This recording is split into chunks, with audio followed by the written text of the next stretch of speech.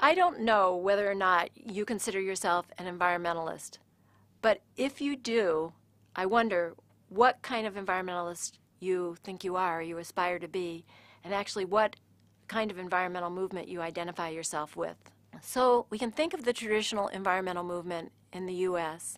And this movement, which was really active in the 1970s, had some incredible achievements they got the Clean Water Act passed, the Clean Air Act passed, and the National Environmental Protection Act passed, all under the administration of President Richard Nixon.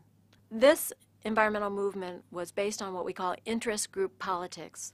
And the interest groups were what we call large membership environmental organizations.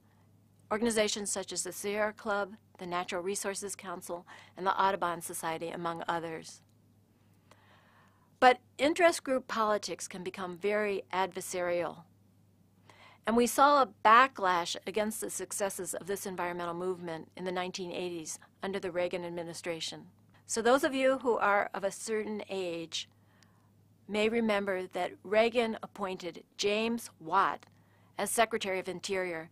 And James Watt put a whole lot of effort into trying to privatize our public lands like our national parks. And then Reagan appointed Secretary of Energy Donald Hodel.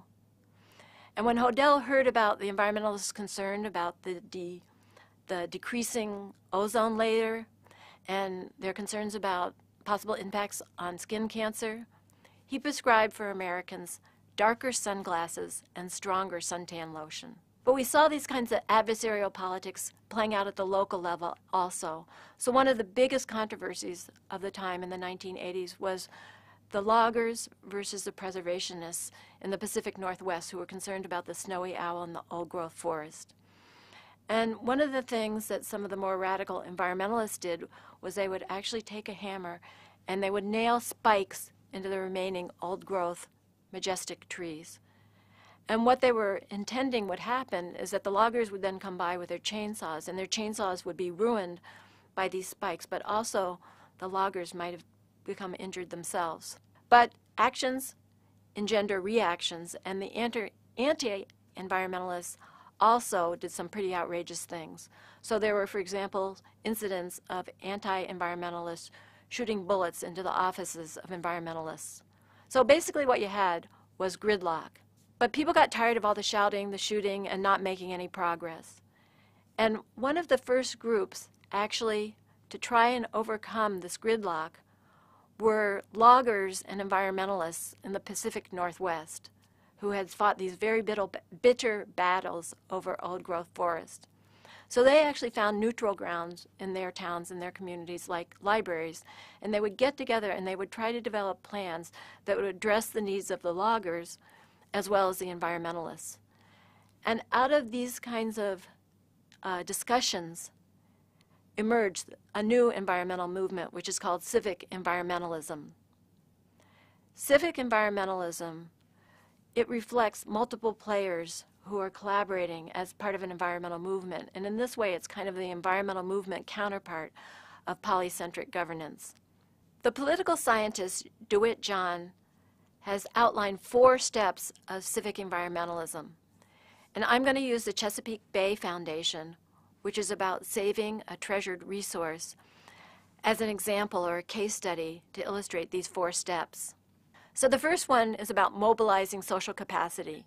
And in 1964, a group of Baltimore businessmen, and they also happened to be not just businessmen, but also recreational users of the Chesapeake Bay. So they were sailors, waterfowl hunters, and fishermen.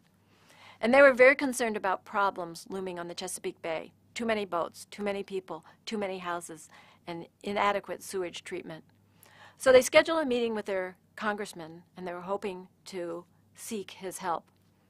The congressman, the congressman, whose name was Congressman Morton, responded that they couldn't expect government to fix all the Bay's problems. And Morton, Congressman Morton said, there is a great need for a private sector organization that can represent the best interests of the Chesapeake Bay. It should build public concern and then encourage government and private citizens to deal with these problems together. So essentially, these environmentalists slash businessmen and now slash civic leaders they mobilized social capacity and they created the Chesapeake Bay Foundation. The second step is building collaborative processes. And some people who are actually engaged not in the Chesapeake Bay Foundation, but in the old growth forest disputes and then later collaboration, talked about building collaborative processes these, this way. They said, it was desperation and gridlock that brought us together, but it was trust and respect that keep us going. So building collaborative processes works best locally because people have an attachment or a sense of place, a place attachment to a local resource. And it may not be something as large as the Chesapeake Bay. It may be a tributary, a small trib tributary to the Chesapeake Bay. So also in, in local places, people know each other. And so the Chesapeake Bay Foundation actually consists of a network of environmental education centers and civic ecology practices and other activities like including oyster restoration, that are conducted at the more local level than the whole bay. The third step is garnering outside support. Well, the members of the Chesapeake Bay Foundation were very well connected.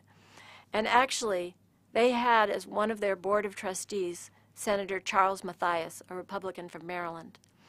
And Mathias was able to garner the support of the EPA to conduct a seven year study of the, of the Chesapeake Bay and its environment. The fourth step is getting plans implemented.